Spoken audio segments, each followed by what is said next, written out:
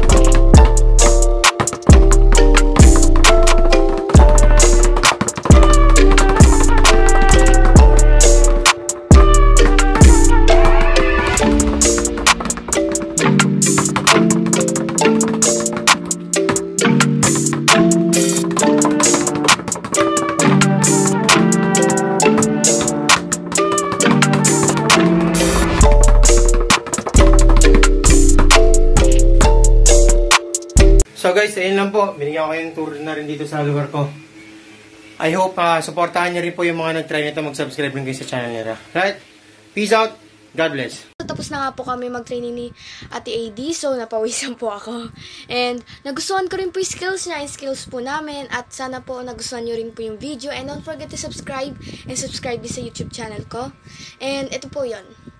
So, bye guys! Bye rin po Ate AD. Nice moves po. Bye po. So, yun lang guys. Sana nag-enjoy at may natutunan kayo. Huwag niyong kalimutan mag-subscribe sa YouTube channel ko, AD45, sa YouTube channel ni Idol Madi at sa YouTube channel ng Hype Streetball at kay Coach Nino. Bago nga po pala matapos ang video na to, shoutout muna po kay na Christian Rendon, Nash Santos, Rhea Joy Reyes, Jimriel Olivar at kay Janine Peran. Yun lang guys, ingat po tayo palagi and God bless. Peace out.